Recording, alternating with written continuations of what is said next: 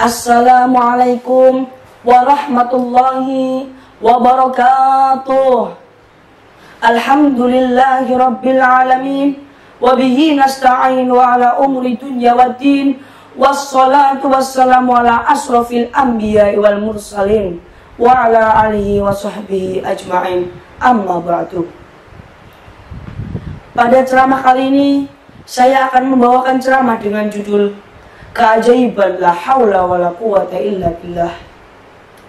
Pada zaman dahulu datang seorang sahabat kepada Nabi. Beliau ber, beliau bertanya, "Ya Rasulullah, anak saya ikut berperang ya Rasul dan anak saya ditawan oleh musuh. Musuh meminta sekian ratus dinar ya Rasul. Jika tidak cepat dibayar, musuh akan membunuh anak saya ya Rasul. Bagaimana ya Rasul? Mereka hanya memberikan waktu satu hari kepada saya."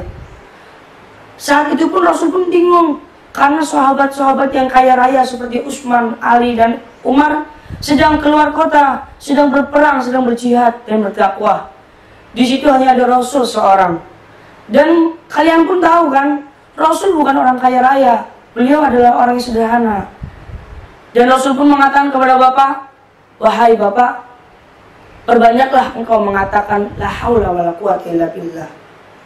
Lalu sang Bapak pun menerima Oh gitu ya Rasul.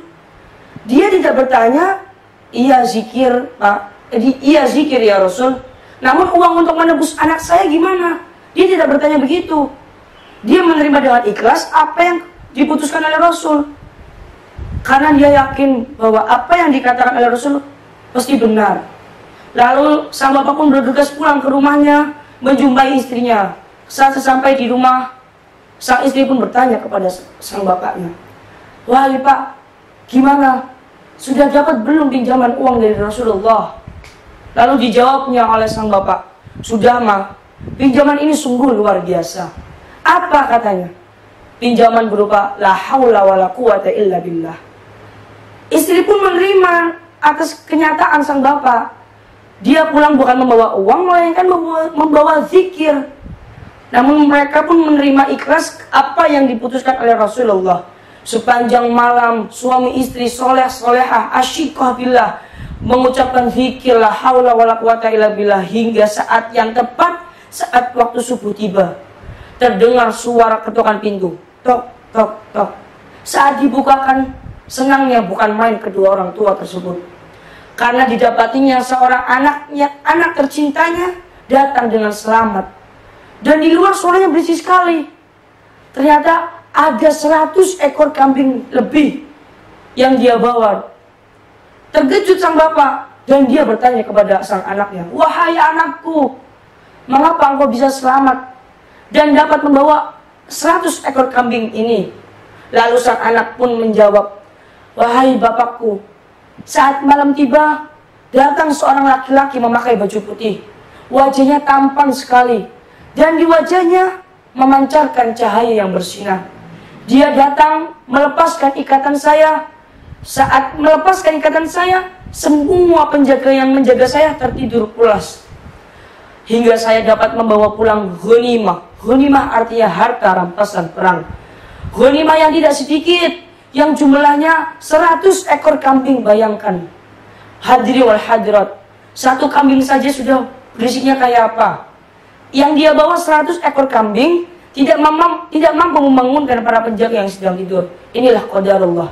Makanya jangan sungan-sungan kalian meminta kepada Allah, mutyadaika ila sama, angkat tanganmu ke langit memohon ampunan kepada Allah supaya dimudahkan urusan kalian. Seperti dalam firman Allah yang berbunyi A'udzu billahi minasy rajim Bismillahirrahmanirrahim.